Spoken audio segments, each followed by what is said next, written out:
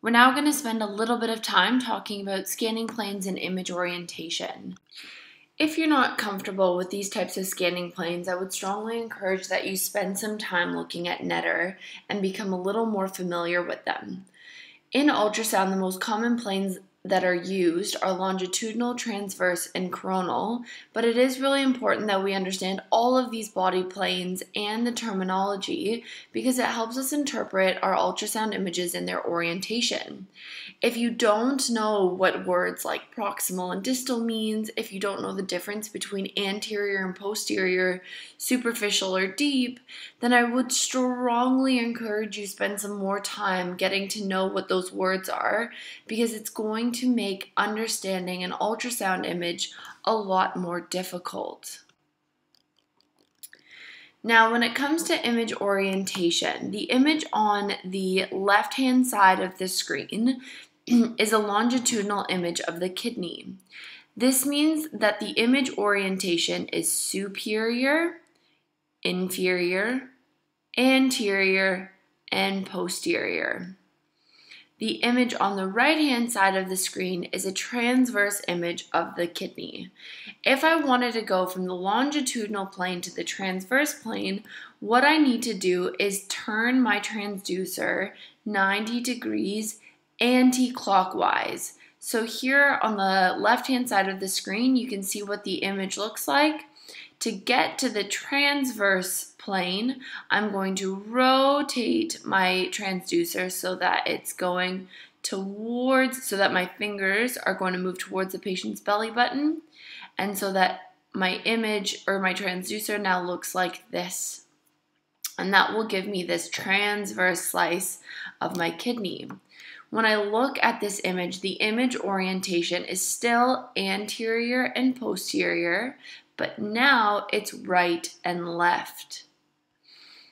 It is extremely important that you note just because something is above something else on ultrasound.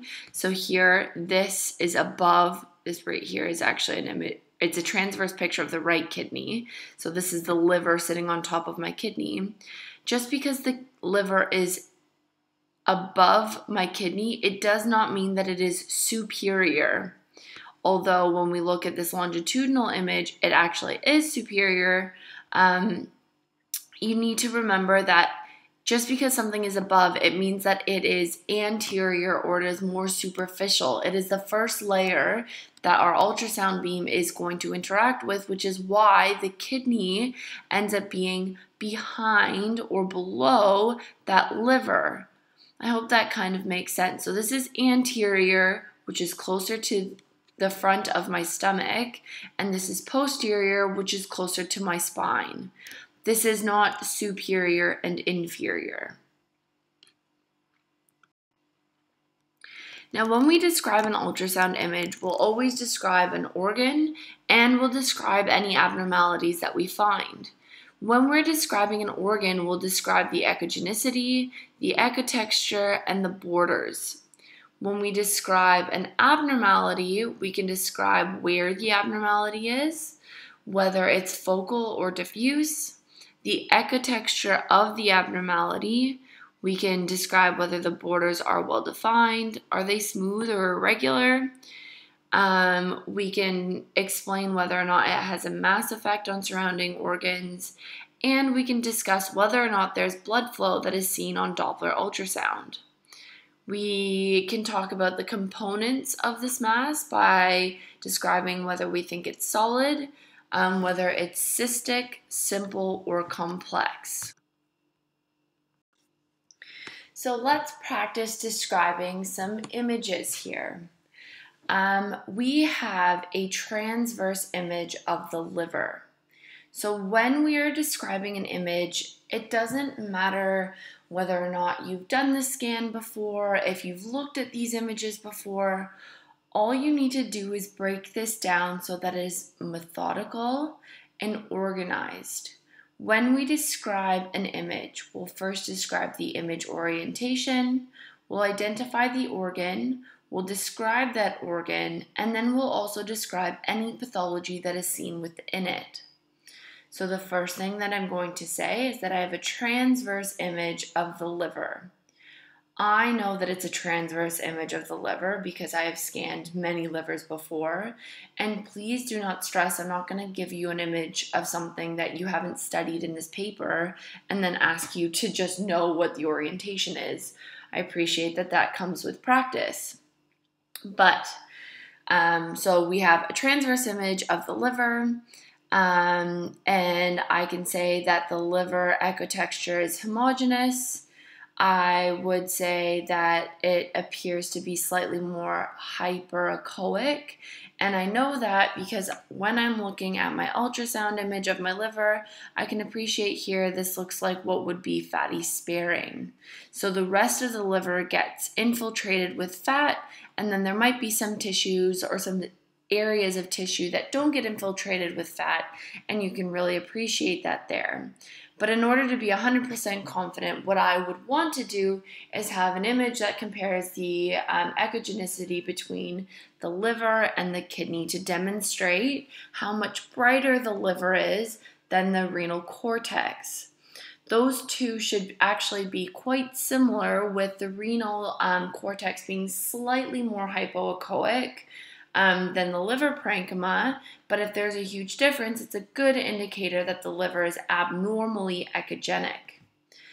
The next thing that I note is that within the liver, there's a focal cystic lesion. One thing that I would want to describe is um, the location of it within the liver. So, in the liver, when we describe pathology, we actually use segments. Now, I can't just on one image identify which segment it is exactly, but I would say that it is likely in segment 7 or 8. And I would say that within this cystic mass, there does not appear to be um, any uh, septations. It is anechoic, which means that there are absolutely no echoes within it. And posterior to the cystic lesion, I can see acoustic enhancement all of these um, descriptions match the description for a simple cyst within the liver. The things that I would want to do in addition is take measurements in two planes. So I would do, well, three planes. I would have a transverse and a longitudinal image of the cystic structure, and I would measure the length, the width, and the height of the lesion. And I would also want to put on color Doppler to demonstrate that there's no obvious blood flow um, internally. So now we'll go on to the next example. So let's practice on another image. Um, this mass was a mass that was found in someone's groin. And again, just because we haven't scanned this before doesn't mean we don't know how to describe it because we'll just break it down um, to make it logical and simple. So the first thing we'll want to do is identify the plane in which we're imaging in, which is longitudinal, and we want to identify where in the body it is. It's in the upper right thigh. The other thing that I would want to do is describe where in the thigh, as in where in the tissue, is it. It looks as though it might be within the muscle layer, um, so it'd be considered an intramuscular mass. Um, that just kind of comes with experience. I can see the striated appearance posterior to um, where the mass is, which is what muscle tends to look like on ultrasound. However, based on this one image, I wouldn't be 100% confident. I would want additional images in the transverse plane as well. Um, and then when it comes to describing the image, we want to describe the mass itself. So when we look at the borders, I would consider those quite well defined. It'd be pretty easy to put um, calipers on that quite confidently. And then when I look at the internal components of that mass, I would be calling it complex. So along with these echogenic portions, there's a few that are hypoechoic, but it looks like there's some low level echoes and then there also appears to be a few cystic type components as well. Um, additional information that I would want to have is again using color Doppler to demonstrate whether or not there is any blood flow. When it comes to creating or coming up with a differential diagnosis on an image like this, there's some additional information we would want to have. For example, the patient history. Has the patient recently had any trauma? Have they had surgery? Because if they are, then this could be a collection. It could be a hematoma or it could be an abscess. If they haven't had trauma or surgery, then I would want to know how long ago this patient noticed the lump and whether or not they have any history of any other type of disease or cancer. I would also want to know if the lump was causing them any pain and whether or not it's been getting bigger. Think about it. If my patient told me that they felt this lump for the first time a month ago and that it's grown quite quickly, um, what am I most likely going to think it is? It's probably something more suspicious than it is benign if it's growing quickly because that's what cancer does. It is a fast growing um, tumor and it takes on the blood supply from other organs. Um, if my patient said that they have felt it and it stayed quite consistent for the past year, I might not think it's something as serious, but again, that doesn't mean that it's not. Ultrasound is really good at describing what we see, but we cannot be 110% um, positive when it comes to our diagnosis. In order to be positive, you need to do a biopsy of the tissue. Now, when we look at some tissue, there are tissues that we expect to be heterogeneous, and that's quite normal. For example, the image on the right hand side of your screen is an image of normal breast tissue. Breast tissue is made up of multiple lobules, and each lobule, or between each lobule, you can see the connective tissue and the fat that helps support, um, provide support and structure for the breast. So, when we do an ultrasound of the breast, it is normal for it to have that heterogeneous appearance. If, however, we look at this image on the left, um, that's an image of the thyroid, and that is quite abnormal. Our normal thyroid is homogeneous and smooth in echotexture and usually measures between 4 to 6 centimeters in length. And the AP or the anterior posterior measurement tends to be less than 2 centimeters, so anterior to posterior, that's my AP measurement, is going to be less than 2 centimeters. The image on our left hand side here of this um, thyroid is actually of a multinodular goiter. So it's a thyroid that's full of all of these different nodules, and it makes it really hard for us to even be able to put calipers on any one of these nodules. The borders of the thyroid become quite large and irregular. Um, and nothing about this is really smooth or normal looking. I just really wanted to provide you with an example of what normal heterogeneous tissue can look like versus what patho- pathological um, heterogeneous tissue can look like. Earlier on in the lecture, I had talked about the mass effect. So, mass effect is the effect of a growing mass that results in a secondary problem due to the mass pushing or displacing the surrounding tissue. When a mass displays the mass effect, it is usually a telling sign that the mass is more likely to be malignant than it is benign. If we're comparing the two renal masses, which we can see here, the one on the left hand side has pushed the boundaries of the renal capsule, versus the mass on the right hand side of our screen is not affecting the kidney capsule or the renal sinus. The image on the left-hand side of the screen is demonstrating a renal cell carcinoma, where the image on the right-hand side is demonstrating an angiomyolipoma.